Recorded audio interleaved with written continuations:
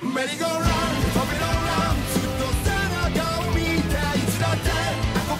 Hola, soy Bash y hola amigos, bienvenidos una vez más a nuestro canal. Y bueno, el día de hoy como ya es costumbre en el canal les traigo la review del capítulo 344 del manga de Boku no Hero Academia. Así es, en esta ocasión tenemos un capítulo bastante interesante ya que se nos explica ahora sí casi al completo el plan de los héroes, ya que después de la épica entrada de los héroes al más puro estilo de Endgame del capítulo pasado, ahora necesitábamos una explicación de cómo demonios ha ocurrido todo esto. Y básicamente es lo que se nos muestra en el episodio y ya estaremos analizando todos los detalles revelados en el mismo. Así que sin nada más por añadir, comencemos de una vez. Y bueno, el capítulo 344 está titulado El protagonista, haciendo referencia a lo que veremos más adelante de Monoma. La verdad es que se ha lucido de gran manera. Pero bueno, ahora sí, comenzando con el capítulo, observamos el inicio de la conversación de All Might y Tsukauchi con los alumnos de la clase A, para finalmente revelarles todo el plan. En primera instancia nos explican que la búsqueda que han tenido los héroes por All for One todo este tiempo no ha funcionado en lo más mínimo, por lo que esto parece más que nada una causa perdida. Es por eso que rápidamente los estudiantes se desaniman diciendo que eso es algo que Bakugo ya dijo antes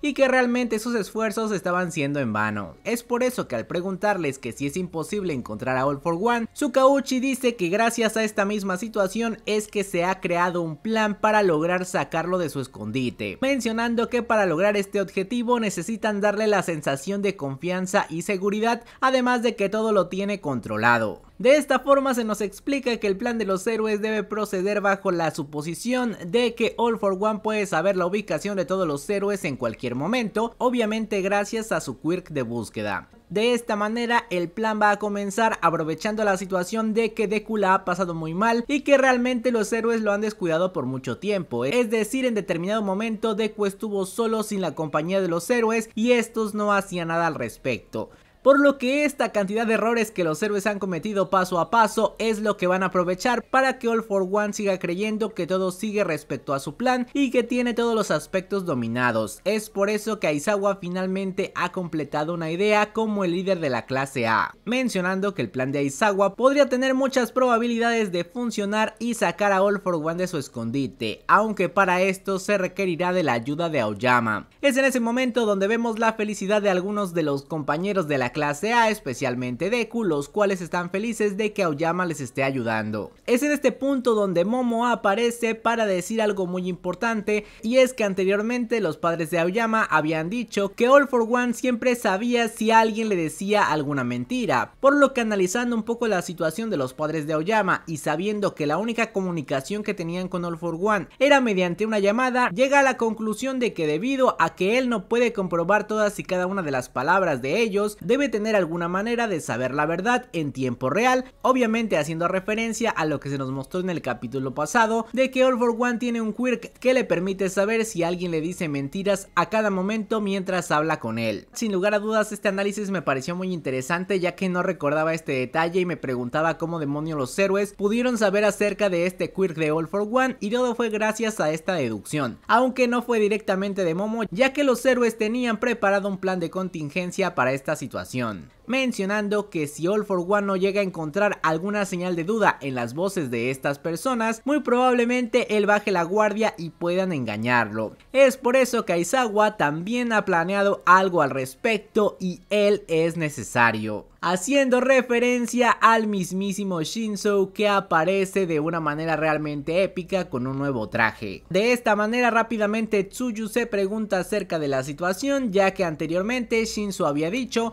que a pesar de poder controlar a alguien no podía obligarlo a hablar, cosa que complicaba la situación actual. Es en este momento donde Shinzo dice que debido a que iba a entrar a la clase de héroes en abril, él no ha parado de entrenar y mejorar su quirk, además de mencionar que por esa razón ha logrado superar sus límites. Si soy honesto, esta frase me recuerda mucho a Yami y en serio Shinzo de la cara se parece muchísimo a él, solo para los que han visto Black Clover. Pero bueno, gracias a eso se nos explica que ahora el quick de Shinzo es capaz de controlar a alguien y hacerlo hablar, además de que sus emociones e intenciones no son detectadas por aquel al que controla, es decir, a pesar de que alguien hable con All for One, este no tendrá las intenciones de Shinzo y por consiguiente All for One tampoco podrá detectar estas intenciones. De esta manera vemos una escena escena bastante genial ya que la clase A se pone muy feliz con respecto a la aparición de Shinzo, preguntándole a qué clase se unirá en el futuro, deseando que sea en la clase A. La verdad es que yo pienso que es lo más probable, Shinzo es material para la clase A, pero ya veremos qué es lo que sucede. Por otro lado vemos al director y a Uchi sorprendidos respecto a Shinzo, mencionando que obviamente él no es un héroe todavía, ni siquiera tiene su licencia provisional, y es por esta razón que tienen que pedir permiso al jefe de la Comisión de Seguridad de Héroes. Un detalle interesante ya que el pobre Shinzo no pudo entrar a esta clase ni ganarse su licencia. De esta manera seguimos con los problemas ya que Tokoyami dice sí todo está claro, todo está pero el problema de todo esto es que a pesar de que le tendamos una trampa o lo llevemos a algún lugar, él rápidamente gracias al quirk de búsqueda va a detectar a todos y sabrá si le tendemos una emboscada. Es por eso que no pueden desplegar grandes cantidades de héroes, ya que él se dará cuenta de su plan enseguida. A lo que All Might responde épicamente que si no hay nadie en ese lugar, él jamás va a sospechar. Obviamente ahora sí haciendo referencia a la escena Endgame, ya que vemos como finalmente Aizawa le está hablando a Monoma diciendo que esta es una petición de All Might y de todos los demás, además de ser el rol más importante de la batalla, preguntándole a Monoma si él podrá hacerlo. A lo que este contesta sorprendido que si le está pidiendo que use y controle un quirk en tan poco tiempo, mencionando que si esto es una broma. A lo que Aizawa responde que lamentablemente su voz no ha podido alcanzarlo y no sabe si actualmente este personaje es Kurohiri o Shirakumo, por lo que no podrán usar su poder a su favor obviamente viniendo de él mismo. Además de que actualmente con un ojo Aizawa es prácticamente incapaz de usar su borrado, por lo que él no será capaz de hacer nada en la guerra que se avecina. Algo que me llama la atención de esto es que una de nuestras teorías es que Monoma también podría llegar a copiar el quirk de Aizawa. A pesar de que sea un poco difícil de controlar, a mi parecer es más sencillo que los otros y directamente lo único que tiene que hacer es observar a alguien. Por lo que algo que me llamaría mucho la atención es que otro de los quirks que Monoma haya copiado sea el de Aizawa, para que directamente de esta forma participe en la batalla. La verdad es que me encantaría ver esto por parte de Monoma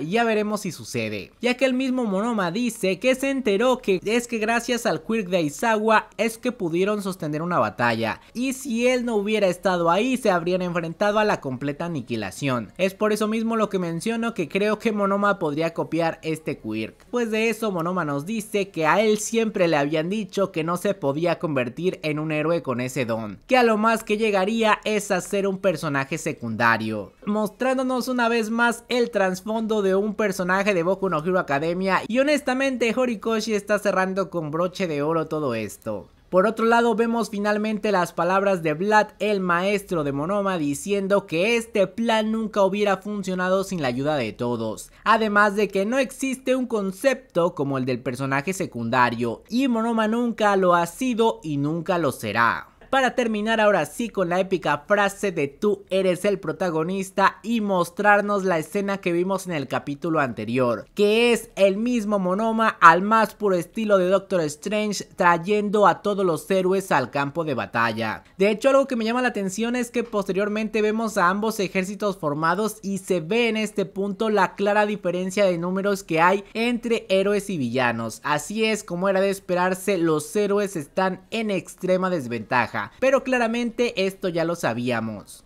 De esta manera ahora sí iniciamos el duelo de ejércitos diciendo que si All for One logra robar el One for All ya no tendrá necesidad de huir nunca más y esto estará prácticamente terminado. En ese momento observamos cómo Shigaraki intenta tocar el suelo supongo que para usar deterioro y acabar con todos pero rápidamente Davi con su locura sale al ataque haciendo que Shigaraki no pueda usar su quirk ya que Davi está bastante loco diciendo que quería encontrarse con su padre realizando un un ataque con una enorme escala y observando cómo aparece una gran cantidad de hielo para detenerlo, en una escena que es bastante épica y nos muestra el comienzo de esta tremenda batalla. Ante esto, por obvias razones, Shoto hace su aparición diciendo que como si fuera a permitir todo esto, estúpido hermano. También observando a la vez cómo la clase A comienza a emerger de estos portales, mostrándonos todo lo que se va a llevar a cabo en un momento.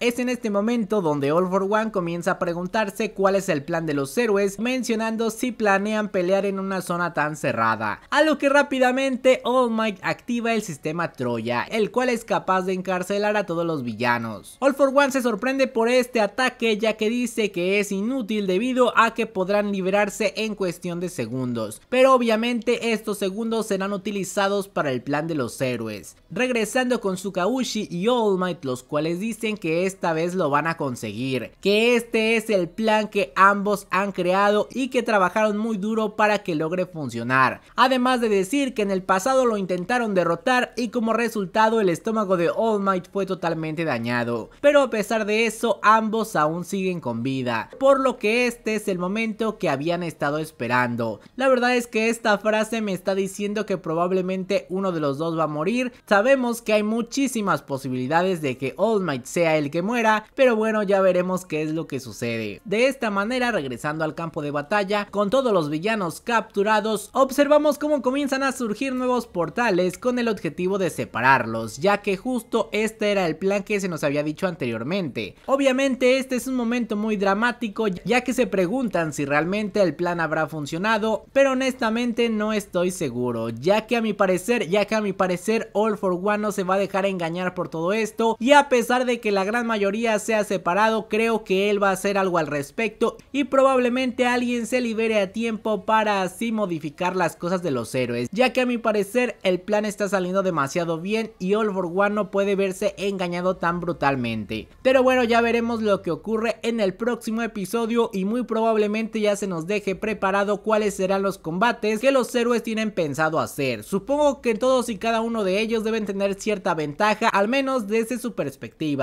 aunque obviamente contra Shigaraki por mucho que seleccionen a varios héroes creo que será la batalla más complicada, al igual que contra el mismísimo All for One. Pero ya veremos qué sucede en el próximo episodio. Y bueno, de esta manera terminamos el capítulo. Me encantaría que me dejen su opinión y teorías en los comentarios. Y antes de despedirme, quiero agradecer a todos los miembros del canal que siempre nos están apoyando. Y muchas gracias a Edifonso Loredo, Detco, Emanuel Castro, Armos, Luis Macosta, Rodrigo García, Lestad Almora, Roberto Pedrero, Random Games, Fanny Morales, Paulex29, Alex Gamer, Adrián Risco Vilches, J. Daniel Alvarado, Soules y Bárbara Ninao. Y ahora sí, sin nada más por añadir, adiós.